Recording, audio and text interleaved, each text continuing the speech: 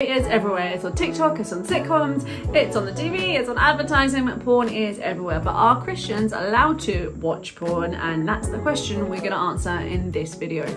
So, all the things that we're going to say in this video is based on scripture. It's not just our personal opinion, it's actually we're going to look at scripture because as Christians, the Bible has the highest authority in all moral things and all ethical things and how we live our lives. We're not just having our pretty opinion, but we are basing our answers on scripture. Yes, indeed. Number one, honor the marital bed. In Hebrews chapter 13, verse 4, it basically says that marriage is honorable to all and the bed undefiled. And this is the key because if I bring imaginations or memories of things that I've looked at into my bed with me then I've brought someone else in the bed with me. So then it's not just me and her, then it's me and her and some imagination thing. That's a problem. Now with that comes the thing that Jesus said in Matthew chapter 5, I think verse 28. And he said that this is very difficult for anybody because Jesus didn't just come to fulfill the law, but he enhanced the law. He said, if you look at a woman with lust in your heart, you've already committed adultery. This is a tough one. That's Jesus' role, by the way, to make things tough. We're supposed to live up to where he wants us to live. So if we've already committed adultery just by lusting, that further puts on us that we shouldn't just be looking wherever we want to, to look to see the things that we want to see. And let's be clear, the flesh wants to see some things. But the thing to remember is that every single person is made in the image of God. Yes, indeed. They are created for a purpose, they are valued by God, they are loved by God, mm-hmm.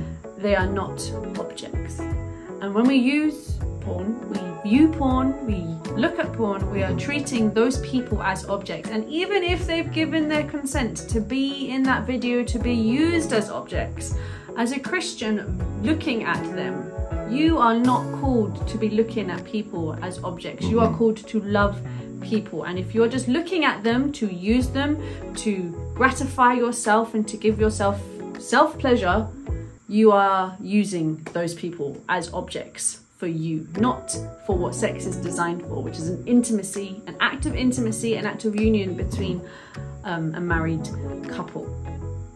With that comes this.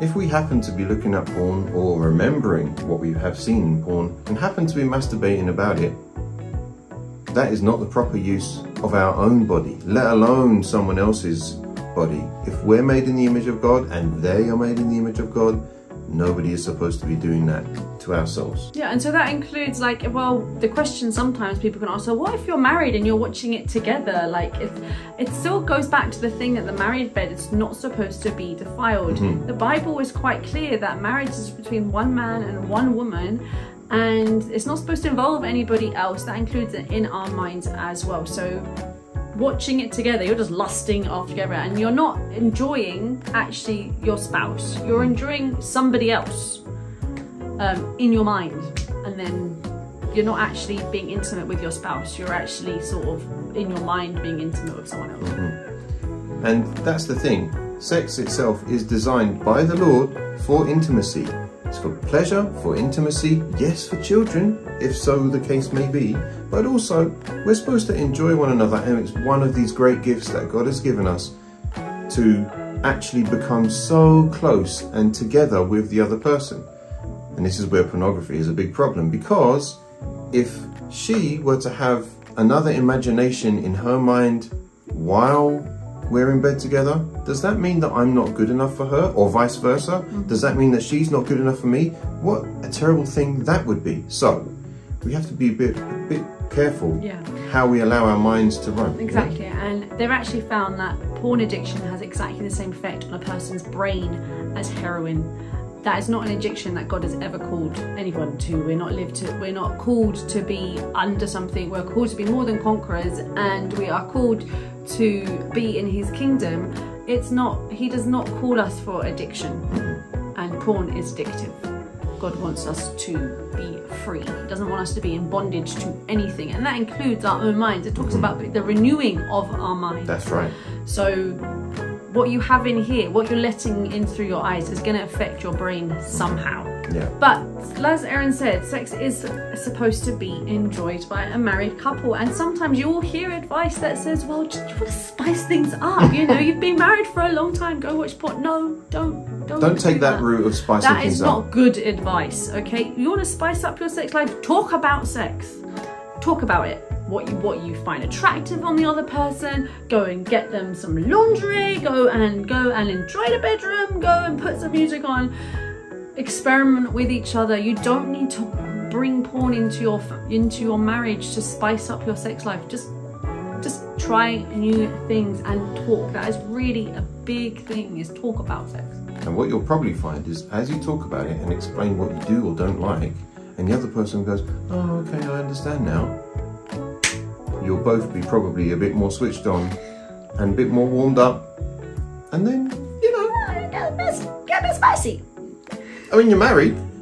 So, But that does raise the question, but what if you're not married? Mm. Now, guys, we're not saying that this is a really easy thing to do. We're mm. really not. But this is really a case when it does come to exercising the fruits of the Spirit, and in mm-hmm. particular, self control mm-hmm. and patience. Are we saying it is easy? No, we are not, because our bodies are designed to want to be with someone. We we desire intimacy. Mm-hmm. However, mm-hmm. there is a proper order and a proper safety net that God has put in mm-hmm. front of us, and that is to do those things inside of marriage. And so, in a time of singleness or when you're not married, it's about exercising patience and self control. and just the same as the Lord has designed our Christian walk when we pursue good things like, for example, daily devotionals or praying, you know, learning and practicing our prayer and practicing discipline and so forth, then our Christian life blossoms. The same thing happens when we practice our self control and our patience with this thing too. Eventually, if, if God so sees that we should get married and be intimate with someone, then that will blossom too because of the work that has been put in earlier in terms of mm-hmm. patience and self control. Yeah, and if you're in that time when you're dating or in a time of singleness, go and check out our, pla- our playlist about dating tips in the Christian world. Mm-hmm. And until that time, Bye.